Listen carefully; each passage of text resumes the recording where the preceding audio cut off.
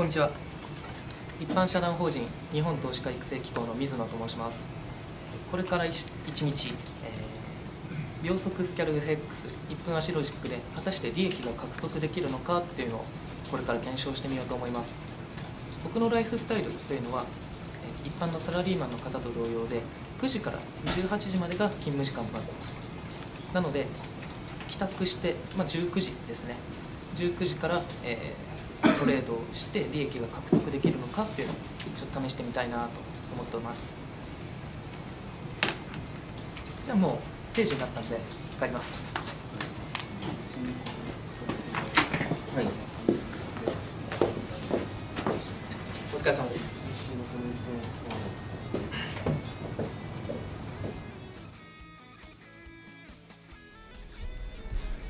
それではですね、もうエントリーした後の画面になってしまうんですけども、こちらが僕のエントリー画面になります。でちなみに、えー、利益確定ポイントと損切りポイントはもうすでに決定しております。どういうふうに決めてあるのかというのは、ちょっとロジックに関わる部分なので、深くは言えません。でただ、買いで今現状エントリーをしておりまして、まあ、この上の方の利益確定ポイントに到達するまでしばらくちょっと様子を見ようかなと思います。また、利益が確定次第、こちら録画の方、開始しようかなと思います。はい。ではですね、もう間もなく利益確定ポイントに到達する頃なので、録画の方を開始しました。多分もう少しだと思うんですけども、あ、もう今、決済されましたね。はい、ちょっと今、えー、決済画面の方を表示しますのでお待ちください。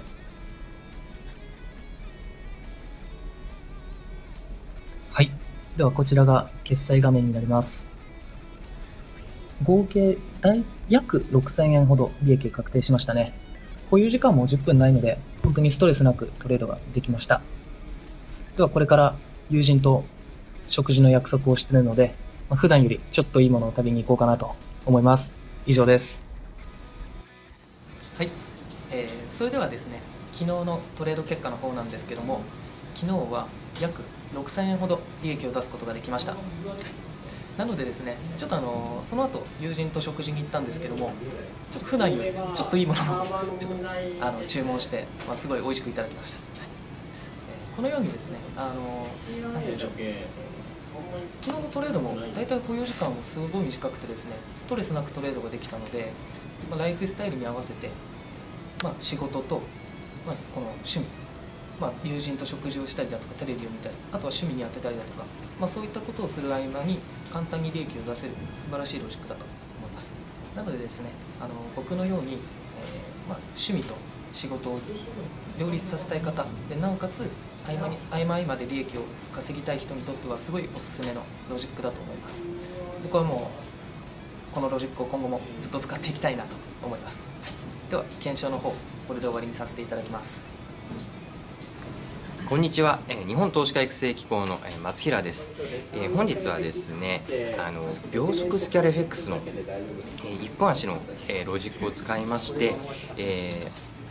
お昼休憩にですねトレードをして、ま、果たして、え、どのようなものなのか、え、試してみたいと思います、え僕の場合ですねあの9時からまあ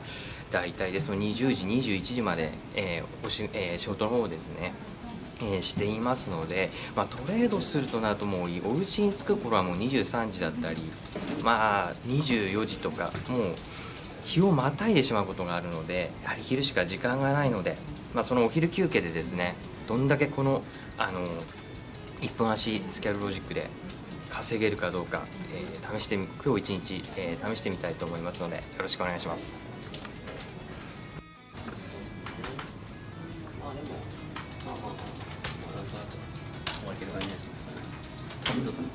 温度書くんですか？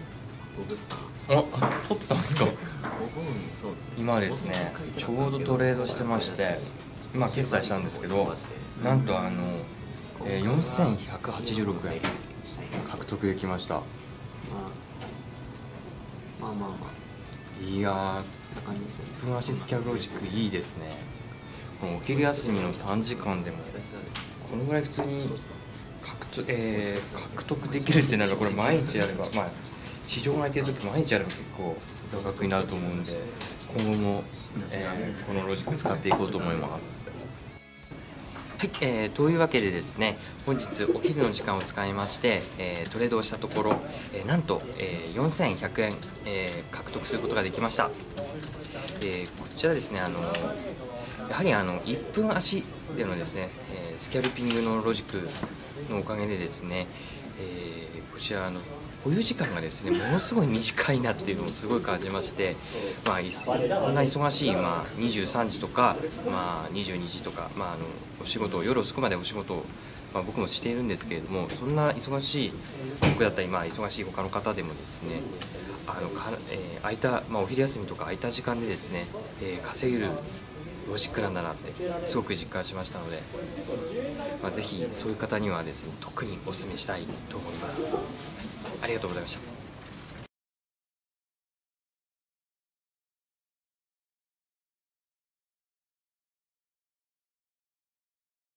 ご覧いただきありがとうございます。この動画の詳しい内容は、このムービーの下のもっと見るの欄の中にある URL をクリックしてください。